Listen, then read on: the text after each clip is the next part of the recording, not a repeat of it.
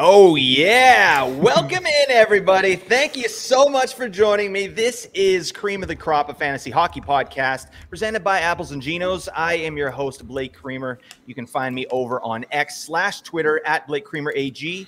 Also, please hit up our Discord. Uh, the link is in the description. There's lots of action going on in there these days. And that's also where uh, we ask questions of the Discord group as well for mailbag episodes and things like that. So you can talk to all of us directly there. We can help you with your fantasy squads. Okay. Um, also, if you could, please head on over to our YouTube. Uh, just search Apples and Ginos. Give us a subscribe. Please like the videos, all that stuff. We do live shows there and we post most of our episodes.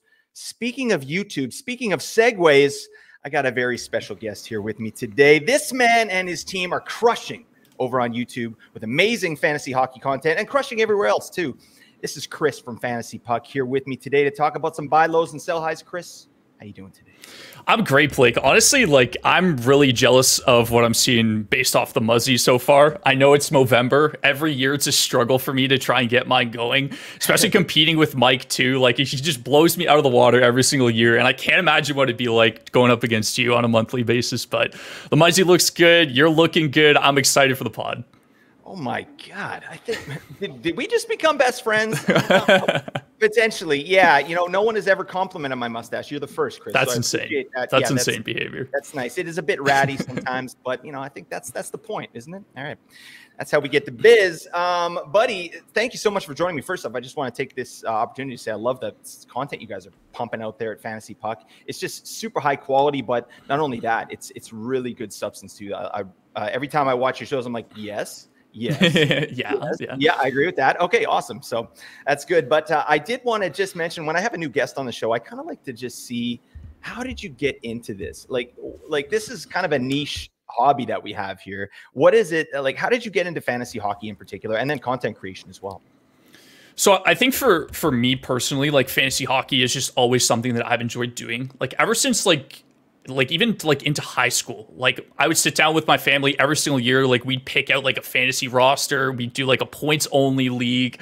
Like it's honestly like stem back that far. And then in university just like with the friend group and and mike and a lot of the other fp guys like we were all kind of like super into it. We were doing things like draftkings and stuff like that when it was eligible.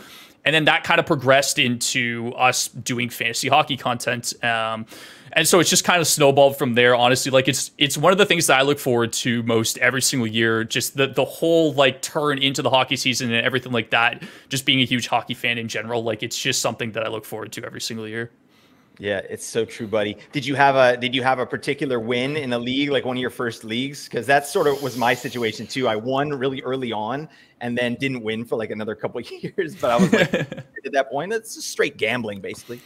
Yeah, honestly, like it, it's been the success has been pretty consistent, and I think a lot of the time it's just derives from things like knowledge and metrics and understanding like player performance a lot of the stuff that that you guys cover when it comes to like buy low sell highs and and understanding metrics and how to to capitalize on things like you know like player opportunity production looking at certain metrics like i said. It's just it's a lot of Uh, the more that you understand about it and the more that you're able to to learn and and be more knowledgeable about the more successful you're going to be so I always preach. I always preach with people that are like new to fantasy hockey. It's just like just watch more hockey. Just see how the players are doing. Just see how often you see players being successful, right?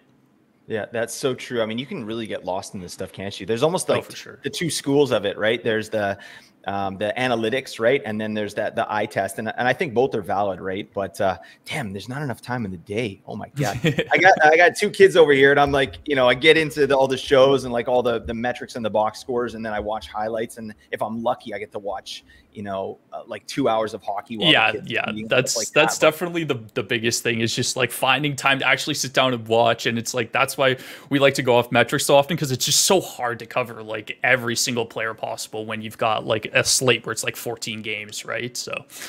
Yep, absolutely, buddy. All right. Well, we got to get the biz. All right. They're not here to hear me yammer on. They're here to hear you and hear about these buy lows and sell highs. All right. So um, you know the drill, everybody. We are going to look at last week's players here and see how they did the past week. And then Chris and I are going to give you some more players to think about as buy lows and sell highs. And then a uh, segment we like to call the cream exchange. Join us, won't you? All right. so first off, let's let's look at the. Uh, oh, you know what? Um, we talked about this before, and I almost forgot. Uh, we should mention a little bit of uh, interesting fantasy news. Jack Campbell of the Edmonton oh boy. Oilers. Yo, uh, he got sent down and it's, he got it's, put on waivers there. Yeah. What are your thoughts on that? Just initial thoughts on that, Chris? Um, I watched him pretty extensively when he was in Toronto. Um, unfortunately, I'm a Leafs fan, so kind of had to progress through that struggle. But like, he seems like he's just such a confidence-based goaltender, and that's when you think about it. Like, it's never a good thing to be a confidence-based goaltender. You always want some type of consistency in your game. Um, so with Jack, it's like the big thing is the contract right for Edmonton, and it's it's the fact that you know like even if they were getting like decent numbers from him, like it wouldn't be that big of an issue. But they're in such a hole right now in terms of their goaltending that they have to do something, and I don't think like they're in a position, especially based off of what we saw last year, to to give up on Stuart Skinner. I think they're just going to ride him and be like, this is the guy we need to kind of just like pick a goalie, stick with him, see if he figures it out. Um, and then for Jack, it's like it makes a lot of sense to put him in the AHL just for a little bit. I doubt anybody ends up claiming him unless like Tampa Bay does something drastic. But I think Jonas Johansson's been solid enough to where like they yeah. feel like they don't need to eat that contract, especially in their circumstance. Uh, and given the fact that like Vasi should be back relatively soon towards uh, the beginning of December, so I think like just for him to gain his confidence in the AHL, that should help him going forward. And I think Edmonton's just going to outright ride Stuart Skinner to to kind of figure that out, unless they trade for a goalie, which you know, there's not a lot out there right now. No, not at all. But I, think what you said is absolutely true when it comes to Campbell. And it sucks because this guy seems like one of the good guys in the league, right? He's a well liked player. But, you know, if you're getting too high and too low after performances, like, yeah, it, it, there's just no consistency there. And it looks like he hasn't been able to kind of find his legs. Um, speaking on Skinner, though, and we are talking about buy lows and sell highs, is Stuart Skinner a buy low to you? Honestly, I think he is. And I know it's tough to kind of like allocate assets or trade for a player that's just been terrible to start the season. But if you if you think of things in terms of volume, like I doubt that whatever AHL goalie they're going to bring up is going to be any type of significant in terms of unless he just completely takes over the net and we see something crazy like that happen. But I think going forward, Stuart Skinner's going to get a lot of volume, and regardless of whatever league you're in, like that has some type of value. Even if his numbers aren't great right now, he's very very cheap to acquire. I'm sure player or fantasy owners are definitely probably looking to offload him. And I think going forward, like definitely a buy low that I would consider if I need help goaltending wise, or it's just like a, a future punt type thing, even at that sense, right? Yeah. And I mean, common sense dictates Edmonton can't be this bad all season, can they? Yeah, that's like, that's that's the thing that I'm just super confused about is like there are times we saw it a little bit last season where they just go a week and they look terrible, and then everything just seems to be on fire in Edmonton. Very similar to what you see in, in the Toronto media as well, too, whenever they're playing bad. But Edmonton's just too strong of a team up and down their lineup, but it's very, very concerning some of the underlying numbers and some of the chances that they're giving up, especially the high danger ones. Uh, that just like have kind of got me in a in a puzzle right now. I just don't know what's happening with them. I know, buddy. I feel for my brothers and sisters in fantasy that have some of these units on their team because damn. All right, that's showing no good. But you know what? Uh, I will give Stuart Skinner this. The man has probably the best mustache in the league. Like, can, can I? it, are you with me on this one, Chris? Honestly, I think he's definitely up there. Um, Jacob Middleton as well too from oh, Minnesota yeah. is just right, an okay. absolute stallion. So yeah, you know these are greasy. I love that. I am very envious of Jack Campbell's stash. That's a beautiful thing. All right, let's get to business here. We are going to just quickly review the sell highs and buy lows from last week. We'll start with the sell highs. So, um, and I'll definitely throw to you here, Chris, just because I want to get your thoughts on some of these players, because see if they're still sell highs or if that window's sort of closed. First player I want to talk about, uh, or we talked about last week, was Ryan Strome. Um, he did have seven points in four games the week previous, and he only had one game this last week here with no points. So there's no data uh, that really, or we're going to need more data there to really kind of get a feel on it. But everything I said last week still holds water. Like this guy doesn't shoot. He's not a shot generator, not a chance generator, right? And even though they only played one game, like it, it's just a, an example to me why I'm not interested in this player. Like, uh, you know, the game against Vegas, he played 14 minutes and three seconds just zeros across the board, right? Zero points, zero hits, zero shots, zero anything, right? So that that's kind of what you know the floor is for Ryan Strome. Um, and I don't know, like, what are your thoughts on the Ducks in general, Chris? And in particular, Ryan Strome, Mason McTavish, who we'll talk about a little bit later, and Frank Vatrano.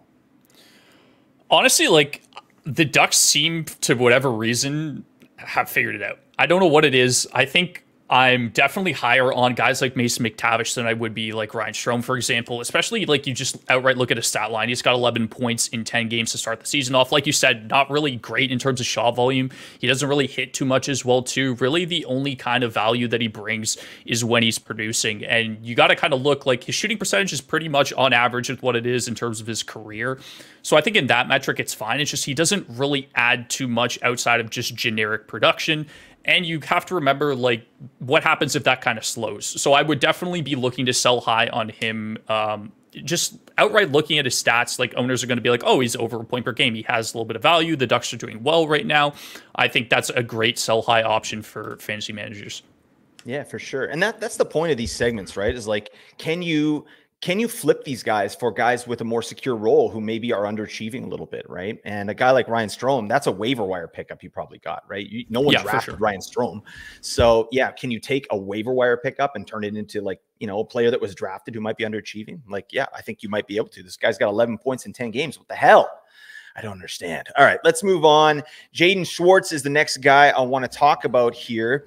Um, the week previous, he had six points in four games, and then he hit two more points in two games this week. So, you know, we can't really deny that this guy is feeling it. He's cooking with gas. All right. Uh, and he's getting points. That's great. But there's a couple things that I like about Jaden Schwartz. Um, he, you know, his deployment is what's really holding him up. And it's been a bit of a surprise, honestly. He's played uh, over 20 minutes in three of the last five games. And that's what you want to see, right? Uh, like it seems like a simple metric here, but you got to be on the ice to accrue these counting stats, points, and all that stuff, right? So, you know, 20 minutes and three of the last five, pretty darn nice. All right. But uh, his numbers at even strength, too, this is another thing I look at. Like they're quite poor. Uh, he's only shooting 4.53% at five on five, and his shots to goal per 60, that's leveled off a little bit to 7.67, you know, which is kind of middling, right? Um, it's the power play where Jaden Schwartz is really redlining. And, um, you know, Seattle themselves, they're they're fourth in league in shooting percentage on the power play. And Schwartz he's he's gone ballistic. He's shooting 37.5% on the power play. So I definitely think that's going to regress. And I can't see this man continuing on uh, with this points. Although I do like the deployment. I know this is totally sustainable, right, Chris? I, I wouldn't I wouldn't necessarily like it's just there's it's Seattle, man, as a whole. Like I just for whatever reason am not a huge fan just because of the way that they deploy their players. Like a lot of it is like every single guy's like getting 14, 15 minutes a night. And it's difficult to kind of establish yourself as having any type of fantasy value uh, when you're not getting like over 17, 18 minutes. Like there's uh, some circumstances where I just feel like whatever line is going that light seem that night seems to be able to get the majority in terms of minutes. But just them as a whole have been struggling as a team. I know that on the power play they've seen a little bit of success recently, but like guys like Matty Beniers, who I expected to kind of take a jump and establish himself as one of the the better forwards in the National Hockey League this year, just based off of his pedigree, was the fact that um, you know a lot of the time it's just the fact that like he's had a slow start and that's kind of impacted him and along with other Seattle Kraken also. So it's just it's kind of like a toss up for me a lot of the times with whoever's hot on Seattle.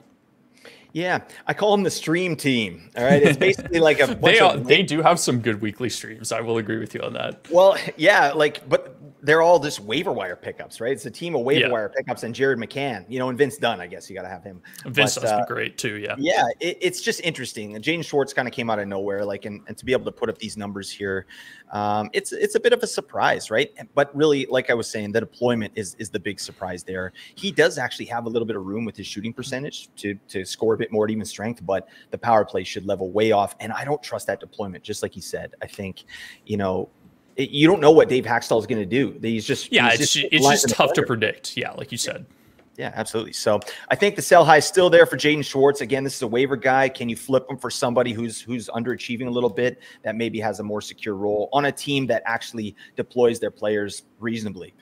Shout out to Dave Hakstol. All right, uh, let's move on. Uh, Ryan Hartman is the next guy we had. So uh, he had two points in two games this last week, uh, you know, and the week before since uh, that big explosion that he had. I think there is still some value here with, with Ryan Hartman um, as a sell high, and I would look at moving off him if I can.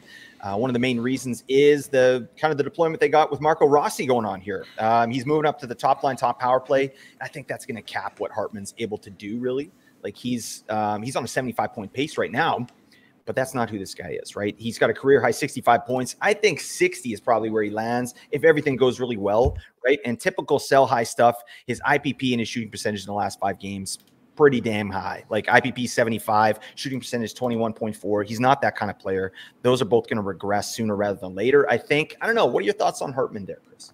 I kind of have a love hate relationship with this guy. Like, I really think it depends on what think uh, what you think in terms of like what kind of player is he? Is he the last year player where he had 37 points in 59 games, or is he the year before where he had 65 points in 82 games? And it really, like you said, kind of depends on the deployment that he gets. I think just the fact that Minnesota's again been kind of changing up their lineup. A lot of the times you'll see Zuccarello strictly with Kaprizov, and then they'll kind of like roll a center, whether it's Jeek, whether it's Hartman. And then now we've seen Marco Rossi in the mix. But that top line of Rossi, uh, Kaprizov, and Boldy just see, looks absolutely electric on paper. So yeah. I definitely agree that Matt Boldy's seen a significant increase in value. I want to kind of wait a little bit more in terms of sample because I feel like if he ends up being that top center like he's seen kind of earlier on in the season. He's kind of been shuffled around a little bit. I, I agree with you. I still think there is a little bit of value, especially in bangers leagues. Like this guy just he is an absolute pim machine and should get you around like 60, 70 hits. So I think in that circumstance it's a little bit different. But if we're just talking strictly like fancy points and value that he has in terms of his production and shot volume, he's very, very hit or miss. So I would definitely try and capitalize on the sell high right now. And you could probably get a pretty decent player in return if you sell it like he could be, again, Minnesota's top six center. Yeah, absolutely. I love that pin machine, or as I like to call it, dingus. This is dingus behavior here.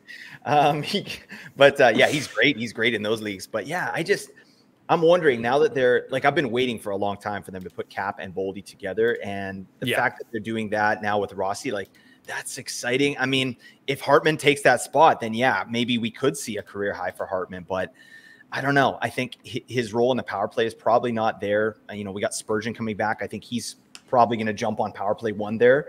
So, so you know, something's got to give. I think it's probably going to be Johansson or Rossi heading back down to power play two. I don't know. There's some weirdness going and on. And it's, it's not like like Jeek's been good as well too. Like he has nine points, 35 shots in the year. I know like coaches don't really care how much you shoot the puck, but I think in terms of pecking order, you got to think Jeek would slot into that top line if they don't end up liking Rossi there.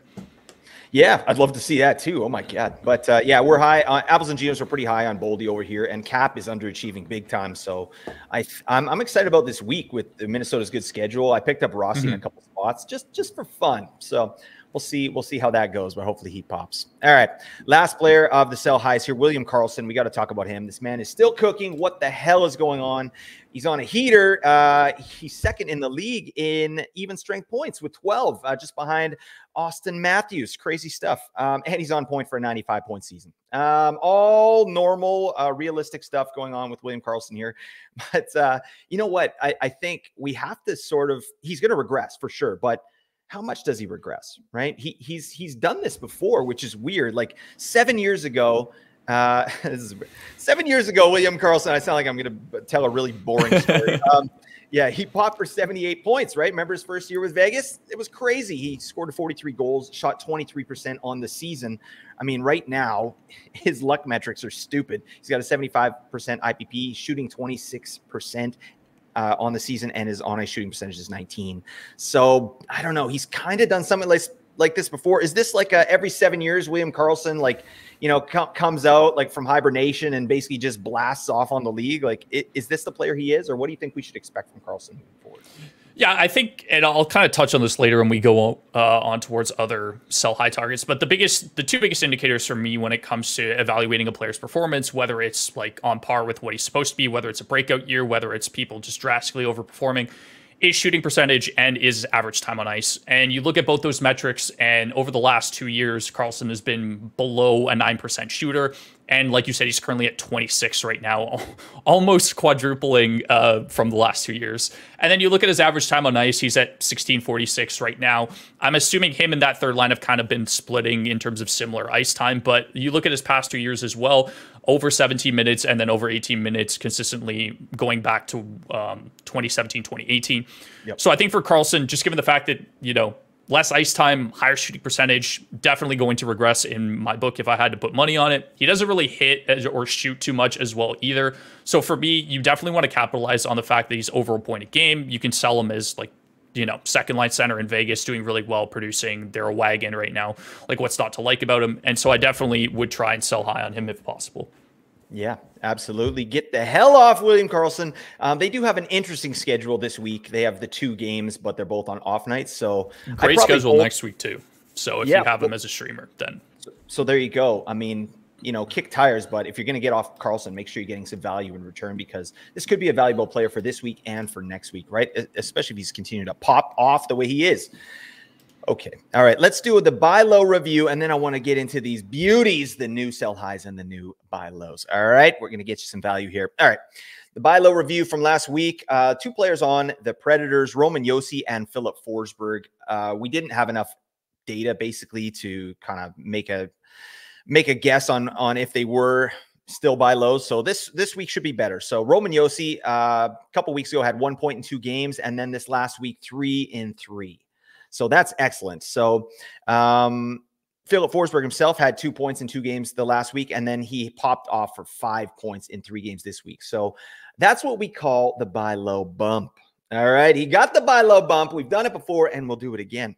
Uh, but Filip Forsberg, I think that buy low window is definitely closed. But I wanted to talk to you, uh, Chris, about Roman Josi and what your thoughts are on him this season, and if you do think he's a buy low, because something I've noticed with Josi, his metrics are down across the board. He's not shooting as much. He's not getting as many chances. It's still early, but um, does Josi's slower start concern you at all? So this was something that I thought about um, when we were kind of evaluating, okay, like obviously we have Makar as our number one D, who are we looking at as number two? We were looking at guys like Dougie, we were looking at guys like Rasmus Dahlin, obviously. Um, but I think the biggest thing that concerns me early on, at least in the season with Josi, was how bad is Nashville and is that going to impact him at all? Or are we going to see something completely the opposite to where they just decide to give him the green light, very similar to what we saw with Erik Karlsson the year before, where he can just fly up and down the ice at will, which pretty much what he's been doing his entire career. I don't think I'll ever be concerned about Roman Josi, even though like his shot rate is slightly down, even though like he's not, you know, producing at an elite level as a guy like Quinn Hughes, for example, he still has a ton of value in terms of his shot volume and his block volume as well too, if you count those as well in your leagues. But for Josi, he's just such an absolute stud. I, I just can't ever see myself being even as a, as a Roman Josi owner in one of my keeper leagues that I've had for the past three years, like he is an absolute unicorn when it comes to fantasy hockey. And so the fact that we're talking about him as a buy low leaves a little bit of a sour taste in my mouth. Any opportunity that that you could see getting this guy, I know he's 33 years old, and I know that Nashville isn't an elite offensive threat by any means, but any opportunity that you can get to to be able to like acquire Roman Josi is just an absolute no brainer for me. So I'm personally not concerned about him at all. I love that. Yeah, I'm so with you, buddy. Um, we love Roman Josi here. I think he's he's the clear second best defenseman in fantasy. That's for sure. Just because of what you said, he does it all. Plus, um, I'm always interested in defensemen that are big time shot generators from the back end, right? And this guy, you know, last season four shots on goal per game. I love that. Uh, you know, he's he's cooking at 3.5 so far here, but I think that has room to grow. His ice time's down a tiny bit, and the metrics, as I said, are down a little bit. But I, I think Nashville has improved this year, right? Obviously, you know, we're going to talk about Ryan O'Reilly in a little bit, but Filip Forsberg to me, uh, that's a guy. I put him on the buy low last week because I wanted people to go pick him up because I think this player is going to be huge this year. And then, yeah, he popped for five points. Um, and I think I, I, like that player a lot. And I think Nashville's better this season than they were last year, obviously with Forsberg being healthy and some of those young guys that they're they're bringing along as well. So I totally agree. Go get yourself some Roman Josi. Kick tires. See if the uh, the fantasy manager who has Josi's feeling froggy because this guy's going to be a unit this season. All right, let's move on. Let's talk about John Gaudreau. I call him John and not Johnny. Do you ever get sick of like it, like his name is John. I, they just they can't just say John Gaudreau or Gaudreau. They the commentators always have to say Johnny Gaudreau every time he's on the ice. It's Johnny Gaudreau, Johnny Gaudreau. So I call him John Gaudreau. I don't know. I'm digressing. Chris, this is this is what I do. I'm just uh, my brain doesn't function. I'm I'm, I'm the same way, man. It's either like Johnny Gaudreau or it's Johnny Hockey, and they don't call him anything else. So I'm definitely yeah. there with you. Yeah, just call him Gaudreau. There's not another Gaudreau on the ice. You don't True. have to say Johnny. You know what I mean? I don't know what's going on. All right. Let's move on. Uh, so John Gaudreau, one assist in four games the week previous, and then he was able to get one goal in three games this week, and a third period benching. Oh my lord! Um, So the buy low window to me with uh, John Gaudreau still wide open. Definitely been a rough go for uh, Gaudreau in the Jackets, right? But to me, he's a mega buy low, right? Um, besides that third period benching, he's still been getting great deployment, uh, just under 20 minutes a game. Production's going to come. All right. You, you got to be patient. I think this player is too good for it not to. Although I do think that this is the absolute lowest point for Gaudreau. Uh, please don't show me a lower point, John. Don't do that. All right. But I do think this is going to be the floor for John Gaudreau. And I think he's a great buy low option. Um, but be prepared for for a little bit of you know frustration. It could be a stay low for a little bit while they figure it all out, right? Um, this kind of just brings me to a point like buy lows aren't really for everyone, are they? Um, they can be really uncomfortable and you kind of have to put your faith in the underlying numbers. They don't always pan out but i try uh, those those metrics i like to put those on my side and sort of trust in those a little bit. Um, do you find yourself chris looking for buy lows for trades and or, or like because I, I, feel like i do it a little bit too much. I, and sometimes in some teams i end up with like a bunch of buy lows and only 50% of them hit and then i'm like what, what the hell am i doing? So I guess it really depends. And this is something that I've tried to change in my mindset over the past kind of year or so, I find myself a lot of the time looking at players in buy low positions and, and telling myself, man, they would never trade that guy ever. And then so I get to the point where I just don't even attempt to try up for a buy low unless it's like in a package deal or I'm getting something that I really need. So I've tried to kind of change my mindset and like you said, just kick tires on people, right? And when it comes to buy lows, one of the biggest ones that we've kind of talked about as a whole at Fantasy Puck has been Sergachev, just because we were so high on him, especially coming into this year with the fact that, you know, if he ends up being the power play one defenseman in Tampa, he's going to have an absolutely stellar season. Uh, it just so happens that, you know, you count out Victor Hedman for a year and he comes back and he and it, it bites you. So uh, definitely something that we were aware of. But when it comes to buy lows, it's like you just have to have faith, right? Like you have to look at the numbers and you have to be like, look, Johnny Gaudreau, 74 points the year last year, and then he had 115 in his last year in Calgary. This is a guy that produces normally at a point per game rate or just slightly below it. And the fact that he's got five points in 12 games right now is telling you that he is severely underproducing right now and it's yep. the perfect time to go and grab them, especially if you have somebody like one of our, our sell high candidates that you've mentioned where it's just like you know this player is not normally at this caliber i can move this guy for somebody that i know is an elite player and that's eventually going to produce yeah, no, I love that. Um, to me, John Gaudreau is an excellent option. You know, when we're looking at some of these sell highs, like, um, you know, some like I, I wouldn't say William Karlsson, but you know, like we we've got some sell highs. Maybe we'll talk about that later. We'll talk about some potential deals, but yeah, there's like I like taking these sell highs and maybe maybe packaging them you know, as like a two for one, you yeah. know, to try and pick up a player like John Gaudreau. So Johnny Gaudreau. All right, I'll say it. that sounds weird. Uh, okay, let's move on from Gaudreau. I want to talk really quickly on Troy Terry. Um, I had him as a buy low and then he popped off for five points in two games. I love that because I got Troy Terry in so many spots, and I was getting a little, I was getting a little antsy, right? But I think the buy low window is closed on Troy Terry, so I don't know if there's too much we need to say about that. I love Troy Terry as a player. Um, he's amazing off the rush. Like I don't know if you do you get very, to watch. Very, very. I, I don't see a lot of Anaheim games uh, even though like they have a plethora of talented players there, like even Pavel Mintyukov just looks yeah. like an absolute stud for them on the back end, and they've got guys like Olen Zellweger coming up, and just the the whole prospect pool is coming into fruition right now, especially Mason McTavish, who you said mentioned we're going to talk about but yeah, like Troy Terry's very, very fun to watch. That whole team in general, like Trevor Zegras, like even though he's struggling too, he's just super fun to watch and see what he can do.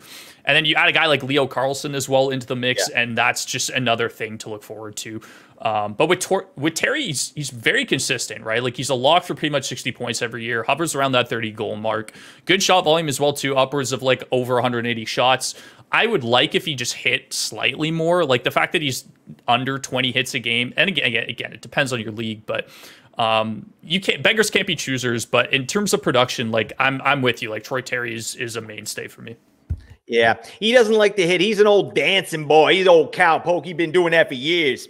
Um, yeah, Troy Terry, thank you for your service. Um, yeah, he, I don't know if he's going to get over 20 hits, but uh, yeah, I'm a big fan of the player there. Um, let's move on. I wanted to, I had Gustav Forsling on this list last week because um, I thought OEL was going to be out with a concussion. I thought Forsling might get that power play one deployment, and that didn't really happen because OEL you know, uh, miraculously, I guess his brain, you know, is totally fine. So that's good. So he didn't get the buy low bump there, unfortunately. But he did have a great game yesterday.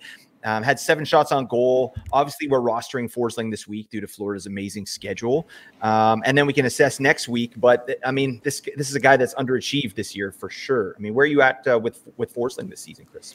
So I'm actually going to disagree with you, Blake. I am punting every single defenseman on Florida that isn't named Brandon Montour and Aaron Ekblad. Uh, ever since the news came out that they're going to be well ahead of schedule in terms of their injury, I'm trying to, if I have any ownership with Gustav Forsling, if I have any ownership with Oliver Ekman I'm trying to get whatever I can right now because in a month's time, I think they're just going to become irrelevant. Uh, OEL was great. Like he got first power play. He was a good early kind of player to pick up and use and potentially use as a sell high. But again, like Forsling just has struggled, and that's because he hasn't had that power play opportunity, and he hasn't been capitalizing when he's been on that power play too. So for me, I just I'm staying away from all Florida D that aren't Montour and Ekblad. And I think going forward, like those could even potentially be buy low players as well too, just because they simply haven't played a game. Yeah, absolutely. Um, yeah, that's a totally fair point. Um, I would definitely say with Forsling, like he he's been awful this season. One of the things that I liked about this player, especially last season, is he was an amazing shot generator from the back end. Like two point six shot was really good. Yeah. And, and he popped for 41 points. He had 13 goals last year in the same exact environment as he has currently right? It's like, you know, he wasn't he wasn't power play one last season either, right? So the, the reason I had him on the buy low is because I thought he might get that power play one deployment. Um, but yeah, I, I I'm with you. I think Forsling is rosterable as like a fifth, you know, defenseman kind of thing, even when Montour and Ekblad come back. And the truth is, we don't know what's going to happen with those players. I definitely have some faith in Montour, who we maybe we'll talk about him later, but um, I think he's going to walk back into his role. But I'm not sure. Like it, it, everything's kind of up in the air, right? And when you have players coming back off significant injuries, maybe they don't walk right back into their regular role. Maybe they they ease them in. Maybe they're power play too. Maybe they're they have a limits uh, min, limits, minute limits, uh, things like that. So um, I don't know. I'm, I'm definitely I'm not punting Florida uh, defenseman, but Forsling has been a major disappointment so far. That's for sure. All right, let's move on. Uh, we got to talk about Boone Jenner. Uh, you know, any chance I get to talk about Boone Jenner, I do. Uh, he was he had three points in three games since the last show. He was scoreless in the four games previous, so that's why he was on the buy low list. Um, Chris, I've heard you guys talk about Boone Jenner, and that always makes me happy. All right, I've been beating the drum for this man for years uh, as a must roster player in fantasy, especially category leagues. Um, he just does it all, and I think honestly that Jenner has a path to more production as well. Like if you look at his on ice shooting percentage right now at all strengths, it's only six point three seven percent that should be much higher, right? And that's due to his own inefficiencies, uh, Gaudreau's inefficiencies, who's been his line mate, right? They haven't been scoring. Um, they just need uh, like I expect a little bump there, and and when that happens, obviously uh, Jenner's going to get a few more points, right? So that said, do you have any interest in Jenner this season as kind of a year long hold, or is he more of a streamer for you? Uh, I love Boone Jenner personally yeah. as well. I think he kind of flies under the radar. He kind of reminds me a little bit of Sam Bennett, just in the fact that he is a little bit injury prone. But when he is healthy, he's fantastic for Columbus. Very, very good, like you said, category coverage wise. Last year, you know, great year 45 points in 68 games 214 shots 129 hits and then 70 blocks on top of that he was a top three forward in terms of blocks with elias Pettersson and Auston matthews so he just does everything in terms of category coverage. It doesn't matter what league what league he's in. If he's playing over 20 minutes a night, which he has been consistently over the past three years, he's just a, he's a rosterable player for me. And I'm shocked that so many people aren't on him as much as say we are, for example any time that he has any type of exposure to Johnny Gaudreau, like even Kirill Marchenko, for example, or if they move Adam Fantilli to the wing, like Columbus has a lot of good, talented shooters on that team. And I think regardless of whatever role Jenner's playing, he's always going to see power play time. He's always going to see top six minutes. So I like him as, like you said, a season long player. And I want him on my team, especially in category leagues as much as possible. Hell yes. Oh my God. Um, one of the things that got me on Boone Jenner early last season is he was pacing for um, 250 shots, 100 hits, and 90 blocks. It, yeah. You know, and he was injured, but what the hell? I mean, that that's yeah. a unicorn right there. That's like Brady Tkachuk light. And for that's sure. and and then you know, to see him rostered in like the 30 percentiles, like this makes no yeah sense. and he he's like he's dual eligible a lot of the time too. I know in a previous year he was triple eligible at one point. Like he's just he's so flexible. He gets you so much in terms of category coverage. Like in categories leagues he's an absolute stud. Uh, and if you count face-offs on top of that he's even better. So. Yeah. Love it. All right we're together on this. Boone jenner is a legend. That's yeah and he he, he could probably rock a pretty badass mustache as well. Uh, you just seems like yeah, yeah, his jawline is insane. yeah, it could just cut glass. Um, I don't know where I'm going with this. Uh, all right, let's move on to our sell high and buy low segment, the new players. All right, um, and we got some beauties for you. All right, Chris. Actually, um, why don't we start with one of yours um, out of Nashville there, and you can talk about Ryan O'Reilly. So again, with same thing that I mentioned earlier, the two main metrics that I like to look at in terms of evaluating a player performance, average time on ice and shooting percentage. And with Ryan O'Reilly, his average time on ice is actually quite good. He's over 20 minutes. I think there is some value still to him going forward just because he's simply the number one center in Nashville right now. He's playing accordingly. But then you take a look at his shooting percentage, and he's currently shooting 30.2 0.4%, yeah. which is absolutely absurd. Like over the past couple years, he's been around like that 15 mark just simply because he doesn't shoot the puck too much.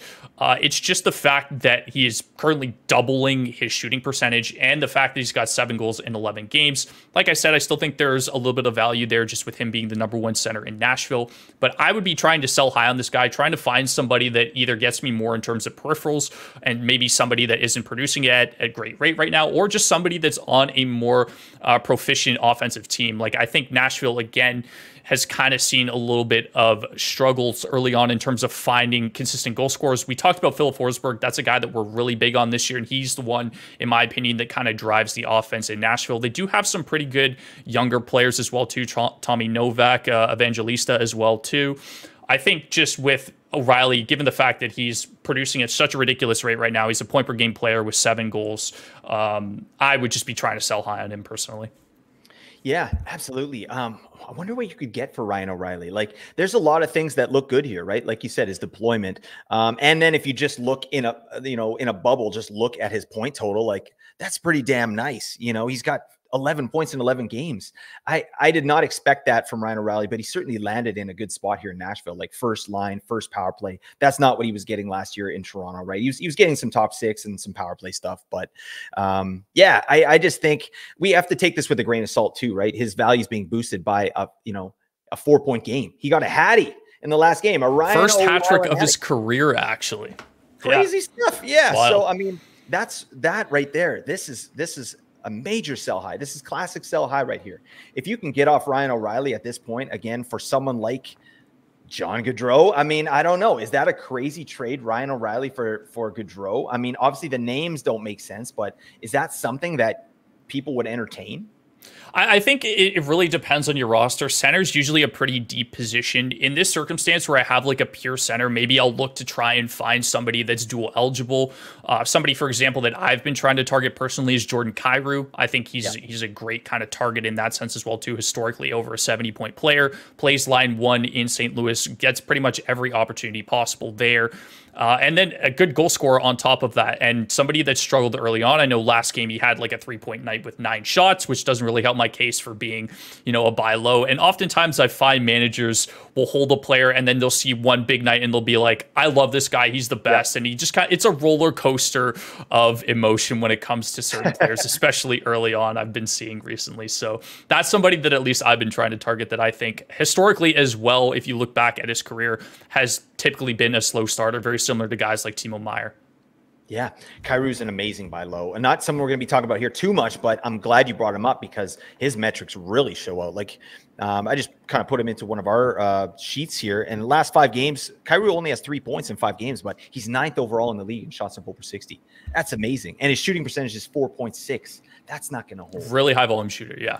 Yeah, so I love that. I love the Jordan Kyrou take. Would you do? Uh, would you try and, or do you think someone would take Ryan O'Reilly for Jordan Kyrou? Is that is that a reasonable trade? Uh, I mean, I could like personally, in my it depends, man. Like it, it, really depends on how knowledgeable people are in your league. And I have this conversation a lot with with viewers and people that leave comments on videos and stuff like that. And people always want to know, like, oh, what's a good trade for so and so? It's like, man, it's so hard to tell. And what I what I try to tell people is address what you think is weak on your team. So if you need more wingers, I'd go out and target a winger, like you said, Johnny Gaudreau. If you need better defensemen, go out and try and target a D that's like kind of been struggling early on. Um, it's just all about trying to find the holes in your team and then being able to plug those holes with guys that are seeing early success. Love it. There you go. All right, let's move on. Let's talk about the next uh, sell high. And to me, it's going to be Mason McTavish. How about them Ducks? How about I call them the Mighty Ducks because you know I was born in 1980. But um, yeah, it's they, they, have been mighty so far, so that's been nice. Um, McTavish is going off right now. He's got eight points in his last five games, 13 points on the season. Sheesh. Um, I'm not sure anybody saw that coming, but uh, you know, again, classic sell high stuff, right? At all strengths, this guy's IPP in the last five games, 80 percent. Okay, that's that's insanely high, right? That that's not sustainable. His shooting percentage in the last five, 26.7%. No, he's not going to be a 26.7% shooter. He's not Andrei Kuzmenko, all right? No one is. um, and his on ice shooting percentage, uh, 24.4%. So his line mates are obviously smashing, you know, Frank Vatrano being one of them. The guy's gone nuclear this season, but uh, none of this is sustainable to me. I do like the player though. And I, I think uh, I'm not sure that he's going to fall off as much as people think. Like there, there's been some surprises here, like his ice time. I love that. Like he's getting over 17 minutes average time on ice. That's excellent. He's getting looks on power play one and power play two, you know, depending on what they're doing there. But um, there will be regression, but I'm not sure it's going to be huge. But I do still think that, like, when you got a player like McTavish who's popping like this, 13 points in 11 games, there's value there. And this could be the high watermark for him for the season, right? So it could be a really good time to move off this player. I don't know. Where are you at with McTavish? And do you think he's a sell high or is he kind of a stay high? Um, the biggest thing with me is uh, yes, he's overperforming right now compared to his career averages, but when it comes to players at his age, especially like the 20, the 21 year olds, like there's just, to me, there's not enough sample to really gauge what kind of player he is yet. And so this could honestly just be a breakout year for him. I do I think he's a 20% shooter? No, I agree with you. But do I think he could be a player that hovers around that 70, 80 point mark? Absolutely. I think he's definitely talented enough to do so. But like you said, like the Ducks are just scoring at a crazy rate right now. Like they've won their last 5 games. They beat Vegas in regulation, the first team to do that this year. So whatever is happening in Anaheim right now seems to be working and like you said, this could be the peak but you do see some other numbers, like you said, like his ice times increased by over two minutes. His shots per 60 has actually gone up quite significantly, which, which I like. He's gone from like a 7.9, like a low six, to upwards of like a nine shots per 60 right now. So these are these are things that I like to see out of McTavish. And again, like you add the fact that he's dual eligible as well. He's a center left wing, uh, which makes him a little bit more valuable. So if you're looking to kind of, again, sell high on this player, I would completely agree with you. I think it's a good option. Do I think, like you said, he's going to completely fall off a cliff? No. Do I think, like you said, is he going to be potentially a breakout candidate this year? Yes. Like it just really depends. It's difficult with younger players. Like we we one of the guys that came comes to mind recently is Seth Jarvis. We were yep. super on him last year. We're like he's playing with Aho consistently. We're seeing a lot of good numbers. His ice time's up. His shots are up. It didn't quite happen, and then this year all of a sudden he explodes right? So it's it's tricky, especially like in his second year. Like you look at guys like Matty Beniers, for example, who I touched on earlier, is just going through an absolute slump right now. And it's like, how do you gauge this properly? With rookies and younger players, it's the toughest decision. So that being said, I think, like you said, the best bet is to sell high on him when this honestly could be the peak in terms of his point production. Yeah. For me, I don't know about you, Chris, but like I, I definitely like safety. Like I'm not about like I, I, love this production, and I have McTavish in two spots, right? I picked him up, and you know, because Anaheim obviously has amazing an amazing schedule season long, right? So I'm not getting off this player right now, but yeah, it just seems a little bit tenuous to me, right? Like for sure. If you don't see someone do something before, like, yeah, I love the breakout, but I'm never the type of fantasy manager that is trying to predict those breakouts. Like, no, that's not true. I, de- I definitely try and predict the breakouts, but I, I don't roster a lot of these players. You know I get I, mean? I, get what you're saying. You like you yeah. especially like you probably got this guy off waiver wire. Like he's now over 80% owned. I just did a video where he was involved, so I have all these stats off the top of my head. But like in that circumstance where like you get this guy off waiver wire, he's absolutely popping off right now. Uh, really, realistically, if you're looking at it from like an unbiased perspective, the best thing you can do is sell this guy when he's at peak value. Yeah, love it. Okay, cool. Well, let's move on to one of your guys here. Um, Chris, who did you want to talk about next? You got a couple in the hopper here. Uh, we went over McTavish, we went over Riley. Let's talk about Sean Monahan. And again, somebody where you just kind of look at stats as a whole and you're like, well, 10 points in 11 games. And like, I don't know kind of like what is going on in Montreal right now. We've seen some great production out of Cole Caufield, which is honestly like something that we were really hoping for this year with him as long as he stays healthy, knock on wood, fingers crossed. He should be like a 40 goal guy. But with Monahan, we weren't expecting this level of production. I know last year he had 17 points in 25 games, and it could just be the opportunity that's being presented to him. But I think the thing, regardless of what Monahan does in terms of his production, that really shies me away from a guy like this is the fact that he doesn't really shoot the puck. He doesn't really hit. He doesn't block. He doesn't do anything outside of production. We talked about Ryan Strome earlier, for example. Very, very similar player where he's just a guy that's getting top six minutes. He's producing and that just seems to be the end of it. So if you're able to sell high on him or at least get anything in return, maybe somebody with better peripherals, like I said, maybe somebody that ends up helping your team more in defensively, you can put him in a package. Like I think this is just a good sell high option, especially if you have him in a deeper league, for example. Yeah. Yeah. It, this guy's another surprise, isn't he? Like Sean Monahan. I, I know actually some fantasy managers were a little bit high, like kind of as a late round sleeper pick this guy up because there's potential he was going to be the first line center, so definitely top six and, and power play stuff. And that's kind of what he's got. He's on, he's on power play one there. And Montreal has been efficient. They've been able to kind of get some stuff done. Um, in, in the last five games here, Monahan's got five points, four goals and one assist. Pretty damn nice. He's 82nd overall in shots on goal per 60. So that's nice. And he's 82nd overall in individual scoring chances for per 60. So those are numbers that, yeah, maybe I wasn't exactly expecting from this player, but, you know, classic sell high stuff again. Uh, IPP 83% in the last five games, shooting 23.5% in the last five games. Like, yeah. No, that that's that's not who this player is, but it's a nice story. I don't know. I think Monahan will probably be one of these players like 50, 50, 55 points at the end of, end of the season here. But this is a nice spot for him. And I think you can absolutely jump off the Monahan train. Um, we should talk about Brock Boeser. All right. Uh, I, I, gonna, I, honestly, yeah. I'm expecting to get a lot of pushback on this, just it, simply because of how good Vancouver's been. But I just like I don't see it. Like this is one where I look at the stats. I'm like, this guy has 10 goals in 12 games. Like, let that sink in for a second here. If you think Brock Boeser is going to score at a near goal per game rate, I don't know what to tell you at this point. But if you're on the bandwagon of, look, Vancouver's clicking, everything's going well for them right now, they're probably the hottest team in the NHL, maybe outside of like Dallas or somebody, for example. He has 15 points in 12 games. It's finally the year that we see the true Brock Boeser.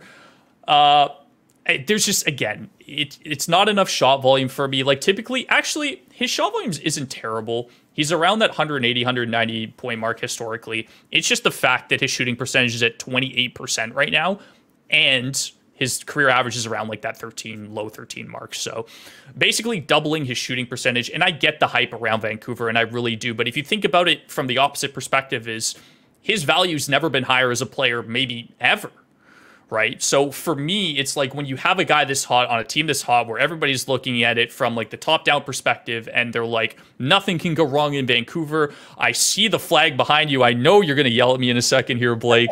Just let me finish. Nothing can go wrong in Vancouver right now outside of the fact that, you know, it's just his shooting percentage that really kind of scares me off. And I think you could get a pretty penny for him if you were willing to trade him away. Buddy, you're on notice. All right. Hey, you, you know what? Uh, got got to keep it real. I agree with you. The major, major sell high, right? Uh, I've been watching this man for years, and I love Brock Boeser, right? You know, I love the Canucks, but that doesn't that that doesn't change the fact that this man is redlining to a ridiculous degree, right? I've, I've watched him for a lot of years. He's not he's not this player. Ten goals in twelve games is excellent, and the Canucks are you know going ballistic right now. But if you look at their team statistics, they're fourth lowest in the league in Corsi for per sixty, fourth lowest. So, uh, but they're number one in shooting percentage. right? So yeah, like you, that, I'm assuming you watch, out, right? Yeah, and with your experience of watching the Canucks, like what is the biggest thing that you've seen this year in terms of last year? Like I know they were solid in terms of when Tocchet came in and kind of took over. Like you get a healthy Demko back. Like what is the biggest thing, at least offensively, that you've noticed that's been like the number one change in terms of like at least from Brock Boeser's perspective this year? Structure right that that's the that's the biggest thing i mean you know i've been on record saying like i, I wasn't i mean i'm a fan of bruce boudreau as a as a person, but as a coach, he was crap. Like it, he was doing yeah. read-based systems where you know basically like you know do what you think is the right thing to do in that situation. Like that's not good for anybody, right? Um, whereas talk is coming in with X's and O's, right? Okay, when this happens, you do this. When this happens, you go around here, and you can you can tell these guys know where they're supposed to be, right? And they're buying into that system. Um, so I think the coaching change has been really huge. Plus, Brock Boeser had um, you know some personal issues like his father passed away last year. Yes, and, yes, last like three years yeah he was dealing with like just dealing with a sick father right? Yeah. so this is the first season. I did call for brock boeser to have kind of a bounce back season. I called him for like 65 points and i still kind of think you know maybe maybe we bump that up to 70 but i don't think it's going any, anywhere past that right this shooting percentage is going to regress there's no question um, maybe the shots are here to stay like he's feeling it he looks good out there and one of the main things that's helped boeser this season is he's been consistent on power play one. Whereas last year he was back and forth. Like um, sometimes they put him on power play two. There were some confidence issues, right? Like even just looking at his power play share last season, 51% power play share. This season, 72% power play share. So he's getting all the power play minutes, and that's making a huge difference. He's got five goals and six points on the power play so far. So half of his goals are on the power play, and that power play is insane. And then yes. he has access to Quinn Hughes, who's like this is a player who who I actually do think has turned a corner, um, like a breakout big time, and he's already been amazing. But yeah, the, now he's in the the elite of of the NHL defenseman in terms of fantasy. That's for sure yeah, front runner right now. Like nobody even is close to him in terms of like if you were to award the Norris Trophy right now. Like his shot rate is skyrocketed as well too. Like just been an absolute stud on the back end. I was watching him last night um, in that Edmonton game. We were talking about it kind of before the podcast, yep. and man, like there was like two or three times where my jaw just dropped. How how he's able to move across the blue line, his vision as a whole, like, and the fact that you're adding like an extra like two to three shots a game for him just has skyrocketed him in terms of fantasy defenseman. So if any of you drafted him, shout out to you guys because that yeah, kind of no flew kidding. under the radar for us. I, I, didn't get him in one spot. Oh, one spot. That's and I'm tough. on nine teams. So, you know, but he, he was, where was he being drafted? It was around like 70. You know, his ADP was yeah, just like very very similar to to Adam Fox, outside of the fact that he doesn't even block at the rate that Fox does, where it just seems like he was a low shot volume kind of like seventy point defenseman. And it's like if you're looking at comparing him to guys like Dougie Hamilton, Rasmus Dahlin, Roman Josi, even like the guys that are elite in terms of those peripherals and those shot volume like even Moritz Seider. I was like, I'd rather have Seider because he's going to get me 200 blocks, 200 hits. Yep. Yeah. Uh, but like, honestly, good for him. I'm thrilled. He looks absolutely electric out there, and I'm sure you're just as happy. yeah, buddy. I mean, I'm, I'm, I am waiting for the floor to fall out a bit, but, um, you know, because I don't think, uh, first off, Boeser is a sell high. The Canucks are as a team sell high, basically. Like sure. if that makes sense, right? They're going to regress, but what I've seen so far this season is that that regression might not be uh, as catastrophic as maybe we would think it is, right? And same with Brock Boeser. I think he, he's definitely going to regress. There's no question about that. But does he, you know, right now he's on uh, a 103 point pace. So he's going to regress yeah. down to probably a 70 point guy, right? I think that's for a reasonable regression for Brock Boeser, but totally a sell high. You could get who could you get for Boeser? You could definitely get uh, Gaudreau, I think, for Boeser. One, uh, one of the one of the targets I like right now especially if you're talking about a guy that's like hovering around a goal per game in Brock Boeser's, I think you could honestly take a shot at a guy like Matt Boldy. Like somebody that historically and has shown that he can be an elite goal scorer and somebody that, that could hit over 35 goals this year given the opportunity. I know he's missed a couple games and that's part of the reason why I think you could potentially target him. Really good shot rate with him as well too, but at least that's somebody where you have some historical data on the fact that he's, you know, can score over 35 plus consistently or at that rate that. at least. Boeser for Boldy. Oh my God. Maybe I'll try and do that. Yeah, that's it. Um, if I get it done, Chris, I'll let you know. All right. Uh, I'll, I'll, I'll, maybe do that. I'd take ten percent commission. Yeah, I'll give you. I'll give you. I'll give you eleven percent. Just right, just throw me like a fifth round draft pick or something. Yeah. Okay. Yeah. There you go. seems reasonable. All right. So we agree on Boeser. That's good. All right. Those are our sell highs. Now we got to get into the buy lows, and I got to get you the hell out of here, Chris. Thank you for your time. I really appreciate it.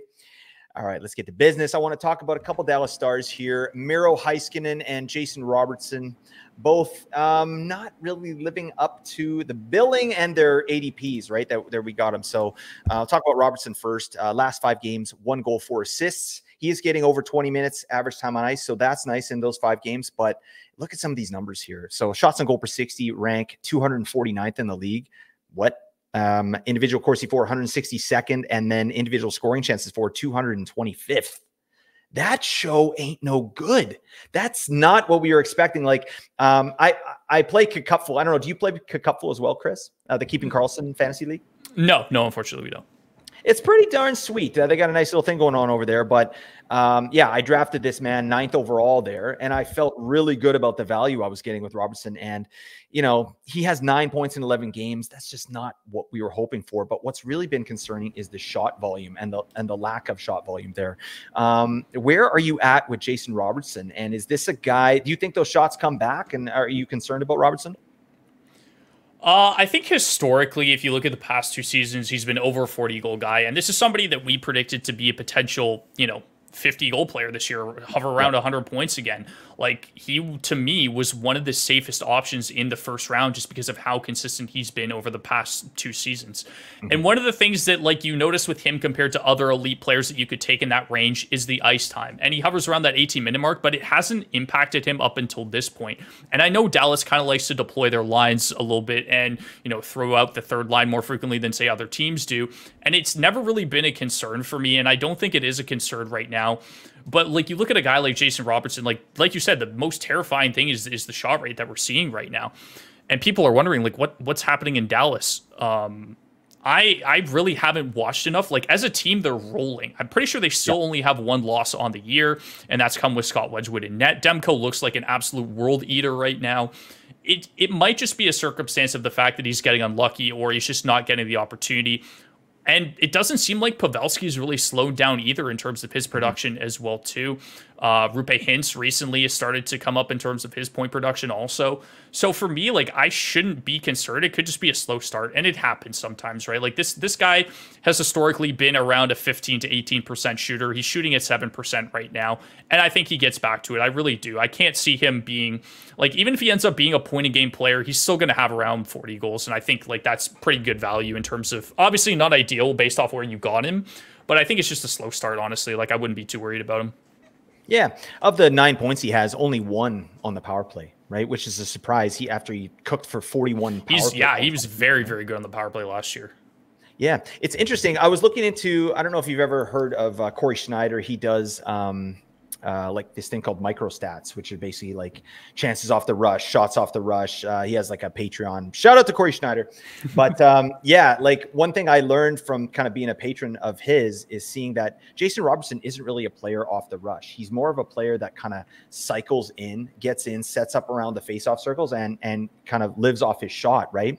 So it's interesting to me that yeah, his shooting rate, his shot rate is way down because um, yeah, it, it's I, have watched a few games, but he's not a rush player, which I think are a lot of elite players are, right? And Jason Robertson isn't one of those. And now he's not shooting. He's like a, he's a, an efficient shooter, and now he's not shooting. So I am low key concerned about Robertson, but it's still really early. It's 11 games in. Like you yeah, said, the Dallas Stars are um, they're winning, right? So they can absorb a slow start with Jason Robertson. That's not an issue, right? But I definitely I'm hoping that uh, you know he starts putting together some multi-point performances and get gets back on track here.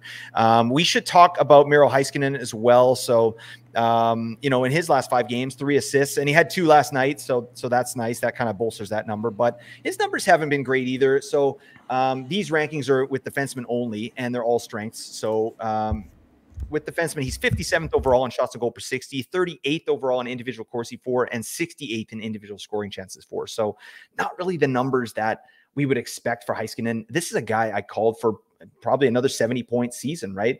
Um, I love the player. And I think so far this season, he's been a better actual player in reality than he has a fantasy player. Like he's not hurting the team. He's he's doing amazing things and the team's winning. But um, in terms of fantasy, it's been really rough. Like only uh, seven points in 11 games. That's just not where I saw this player landing this year. Um, do, do, is there any concern about Heiskanen as well?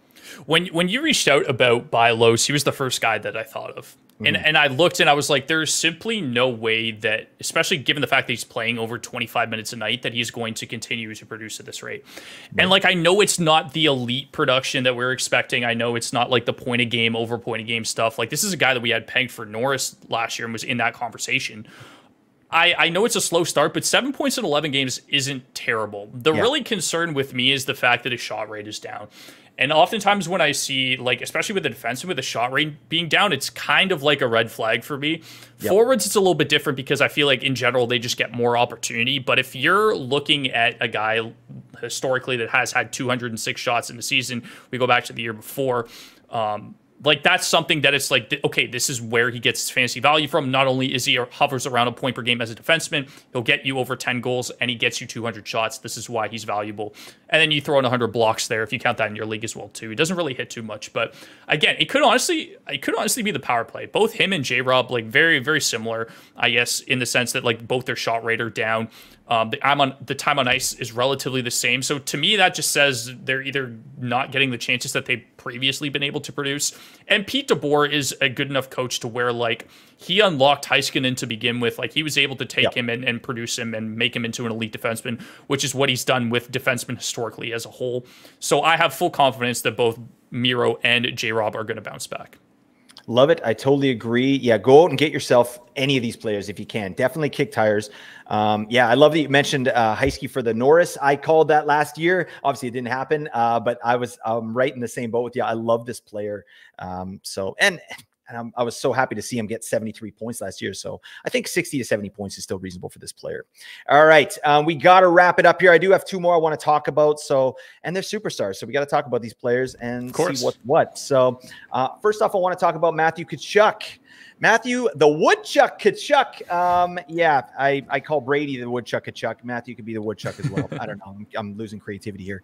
Um, all right, but you know, Matt Tkachuk in the last five games, four points, two goals, two assists. But the metrics, they're they're out of hand, right? This guy's eighth overall in the league in the last five games in shots on goal per 60, 10th in individual Corsi for, and um, he is 19th in individual scoring chances for. But then when you go to his on ice, uh, his team statistics, he's number one overall in Corsi for per 60, and he's third overall in scoring chances for per 60. So, um, but he- you know, this is not we we drafted Matt Tkachuk probably at like probably as high as five. I've, I saw him go Yeah. as high as four in some leagues, and he's only got 10 points in 11 games.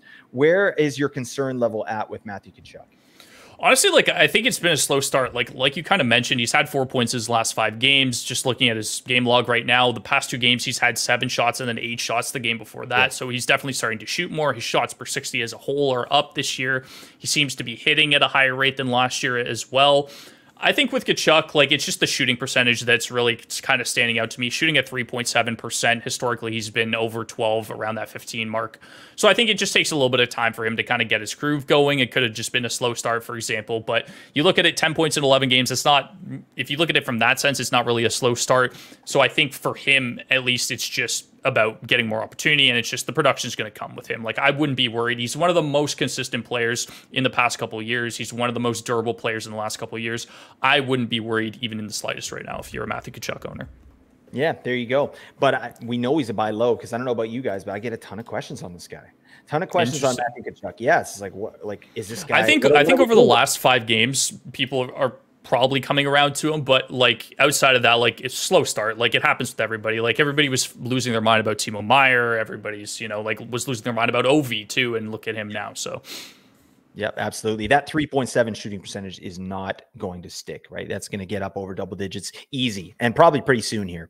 Um, all right. And the last player we got to talk about, Connor McDavid. Is Connor McDavid a buy low, Chris? Is it this is this actually oh boy point. Yeah, like uh, Oh, you're killing me, man. yeah, I know, buddy. So, what do you think? Tell me what have you seen with Connor McDavid this year and and then just what's been going on with him? I have never in my life seen so many people ask me eh, comments, eh, videos, YouTube, Discord, whatever the case is, eh, like, do I trade Connor McDavid? And I have the same reaction that I'm giving you right now. It's just like I kind of just sit back, I roll my eyes. I'm like, guys, guys, this at the beginning of the year, this guy could possibly have been worth more than the second and third pick combined. Like, I really think that it's just the fact that Edmonton's had a rough start. People were kind of panicking about, you know, he's not looking like an absolute world eater. He's not doing outer worldly things currently. Sometimes it just takes a little bit to get back into the season. We've talked we talked beforehand how the fact that he's been dealing with an injury, which could honest be, honestly be a contributing factor as well. But like this is this is the best player in the world. Like if you're seriously considering moving him, I don't understand why you would want to like what was your premise of drafting him in the first place? Just because he's had a little bit of a slow start doesn't mean that you go off and sell him right now.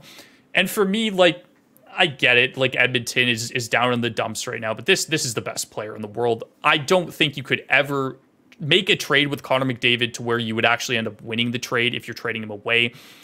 But at the same time, you look at it from the opposite perspective, and it's like this is probably the only time in the past two to three years where this has been a player that's actually become available and people have been listening to trades on.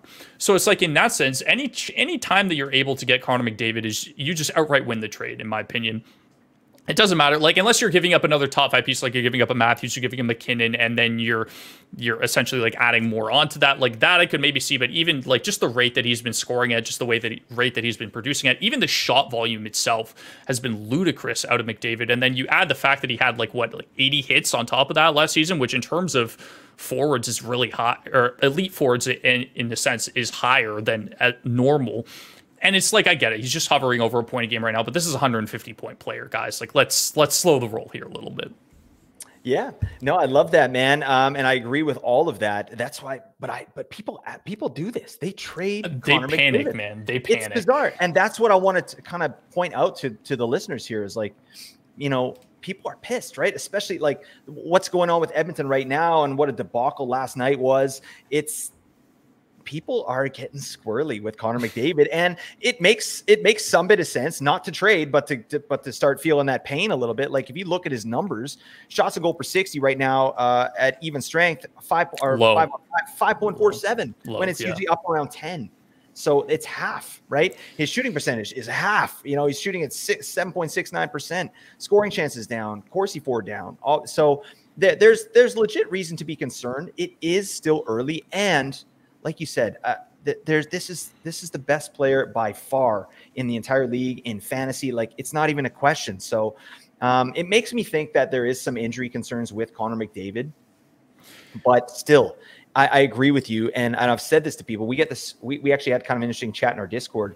Like, yeah, would you trade McDavid? And people were showing like one guy was like, yeah, he's been traded twice in my league already. It's like Connor McDavid has been traded twice in your league what is happening? How do I get, like, how do I get in that league? Get in there, and is it a money league? Like, and we just yeah, that sounds nice. But um, yeah, I I totally agree with what you said. Anytime you're getting Connor McDavid, you win the trade. Period. Right.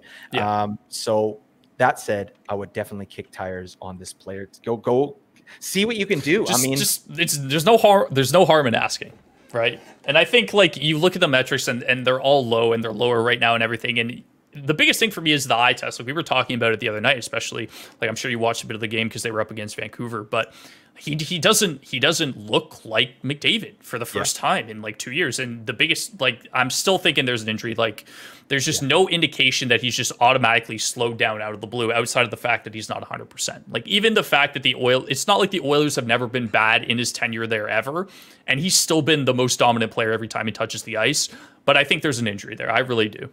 He's yep. not 100% to me. Yep, that makes total sense. But still, even I'll take the injured McDavid. Like, give me the injured McDavid. That's fine. give me McDavid with one leg. I'm still never trading that guy. Well, maybe, maybe not his leg. Maybe an arm. Not, not. A, you know, he could probably do the same with one. I don't know where we're going with this. All right, keep McDavid with his appendages, um, buddy. That is it. That's it for our sell highs and buy lows. Um, Chris, I really appreciate you being here. Um, that's super helpful for our viewers, and I definitely want to just give you the floor here and uh, promote whatever it is you want to promote because uh, you guys are crushing over there at Fantasy Puck. Yeah, so if you guys want to come check us out, our YouTube channel is a Fantasy Puck, just all one word. Should be readily available on Twitter as well too. Uh, we just started off trying to hit more content in terms of Instagram and TikTok. So if you guys are interested in short form content, definitely check that out. We do offer some premium Patreons uh, features as well too. So again, if you're interested in that, check them out. Uh, big shout out to you, Blake. Thank you so much for having me on. Really appreciate it. I'm sure we will do a lot more collab wise in the future. Uh, we've got a couple things cooking up at Fantasy Puck where we're trying to get more creators involved, and you guys are definitely on our list to start doing more content.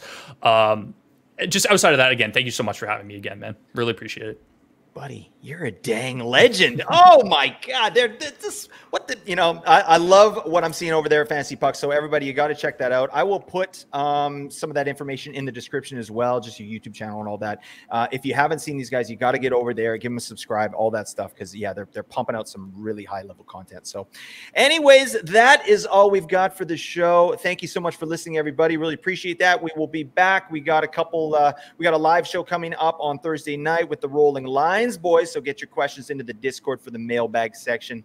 But that's it, everybody. Celebrate your day. Bye for now.